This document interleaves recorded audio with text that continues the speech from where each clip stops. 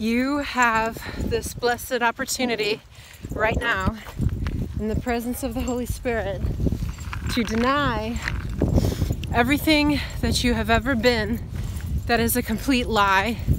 Because if you feel any sort of attraction or connection to what is of this world, whether it be the trends, the people who act like the world, who embody what is false face, who tell you that your faith in Holy God, Jesus Christ, is a thing of antiquated time.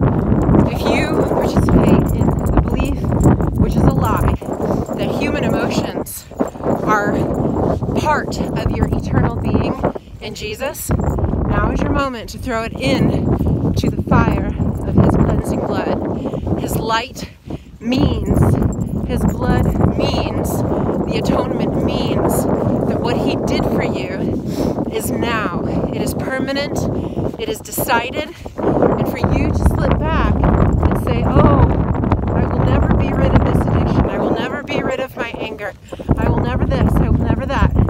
I'm too poor, I'm too ugly, I'm too fat. The evil lies go on and on. Are you going to slap Jesus in the cra- Jesus Christ in the face for one more second with that kind of filth?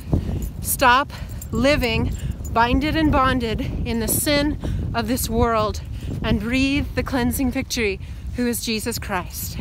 Amen.